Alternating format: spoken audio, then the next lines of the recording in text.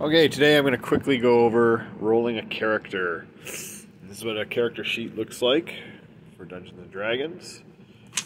Uh, I have made a double-sided copy here so that you can have, if you have different skills or spells, you can record all that there, as long as everything, uh, as well as everything else, uh, on, onto one sheet. And that's what I'll be providing people. So, this is the rule book that we're going to be using we're just going to go through it step by step. Uh, so he wants us to write down the names of the six player character abilities. We don't need to do that because we have a character sheet. This book assumes you do not. And then it actually gives you an example of just making one on lined paper, which is perfectly acceptable. Makes no difference at all. Uh, first, we're going to roll 3d6 for each ability and put the result in pencil next to the name of the ability. Now, there is one concession I'm making here, which is if you want a particular class you are allowed to take the minimum for that for those abilities, even if you don't roll them. But you want to try to roll them first because if you roll better, I'll let you keep those too. Uh, it's still a pretty brutal system, but that's okay. It Doesn't really matter in the context of the kind of game we're playing. So we roll three six-sided dice. We add those values together, five, six, seven, eight. This character has 8 strength. Uh-oh. He's not going to be a very good fighter.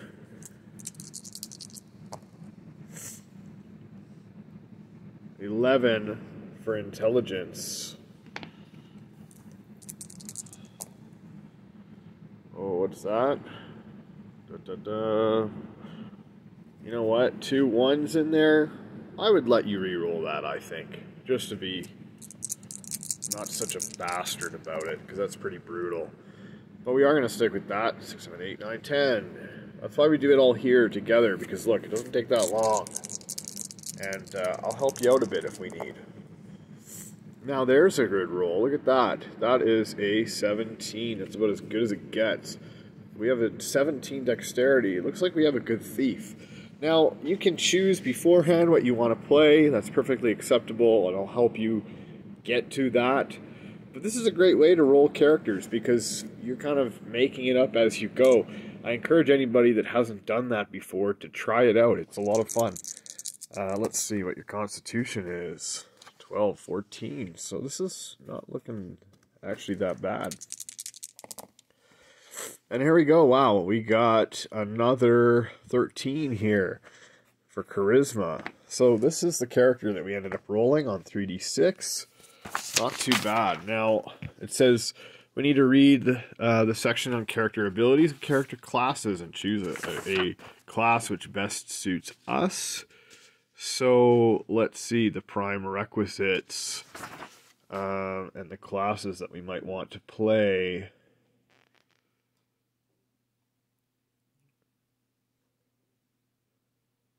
Let's see, characters. I think we're going to be going with a thief here, probably.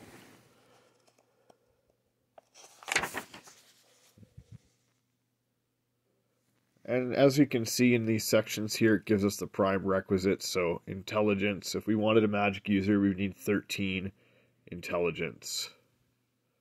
Uh, or, or rather, a magic user with 13 or greater would receive a bonus on their experience. So we definitely would want that. So the prime requisite of uh, thief is dexterity. So uh, 13 or greater gains a bonus on earned experience points. And thieves level up really quickly. That's kind of the cool thing about them. They level up twice as fast as other um, classes. Now, we have a d4. I do allow you to take max hit points, meaning you get 4 hit points to start, plus the constitution bonus. So, what other steps do we would we have to take here? We would have to get our bonuses. So for our 17 dexterity, we would get a plus two on to hit rolls. So with um, ranged weapons, with bows, essentially, and a negative two bonus to AC. Negatives are good for AC, for armor class in this case um, our AC would start out much higher. We would start out, I believe, at 7 AC, or if you convert it um, to the other system, I would think that that would be 13 AC natural. And then an initiative adjustment, but we don't even worry about initiative. I just deal with that as the DM, so that's not even uh, part and parcel with what we're doing. Constitution is the other high one we got at a 14. So, uh, where is that here? Here it is. At a 14 Constitution, we get plus one hit points per die, um, or plus one points per hit die. So we would start you out at five health as well. Doesn't sound like a lot, and it isn't a lot, but it's a lot better than starting with one health, which is possible. In fact, it's possible to start out with no health, in which case you don't even roll that character, because that would be not very good. Um, charisma here was, uh, was our other higher one. We get a plus one adjustment to reactions. Um, that helps or hinder first impressions when talking to an encountered creature or person because what we do as a DM is we roll based on your charisma uh, to see how things respond to you when they see you. Everything in D and D nowadays, and and it is a perfectly valid way to play, and I have played this way, is controlled by the DM. Um, but in the older D&D, a lot of things were controlled by random chance. You'd set up an encounter, but you didn't really know how that encounter was going to go until you rolled the dice. So we didn't know how those goblins were going to react. We didn't know how these guys were going to react. I mean, we could have omit that, but it added a lot of flavor to the game because you just set up these encounters and you, you didn't know it might turn out to be just hey, we're passing by, no no trouble here, unless a character went out of their way to cause trouble. And so that's an interesting element of the game as well. Just to quickly go over, um, after we've set our character abilities and those bonuses, we would write down our special abilities. In this case, for the thief, uh, we would turn it around here and and type in the number for our uh, thief skills.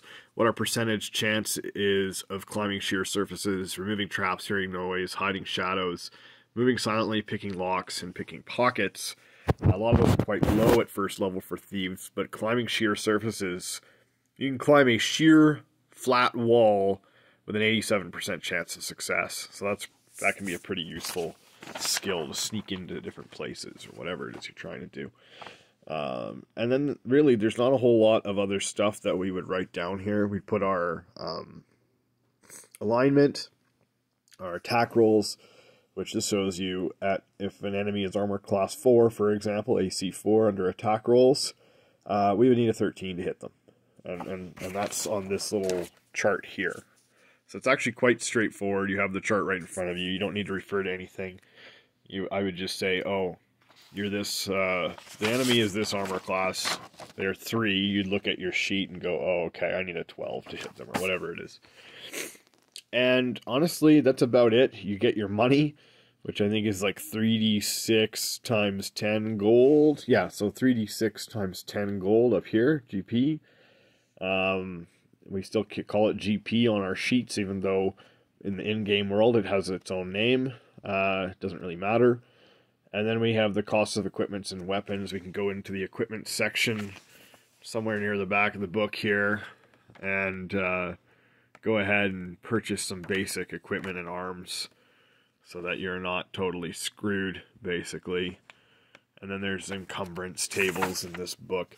This book is all you need to get started that's why we use this book because it's a it's a very thin volume. You don't need uh, there's not a lot of material here to sift through. I use this book as my reference, quite a bit thicker, and then some of these books as well for different material or different ideas that I might need because there's some good stuff in these too. But that's it. That's what character creation will feel like when you come over, when you play a game here. Um, it's really quick and if you die, it's not a big deal because guess what? I'm gonna have lots of character sheets. You're gonna be able to roll up a real a new character really quickly, and we'll get you back in the game.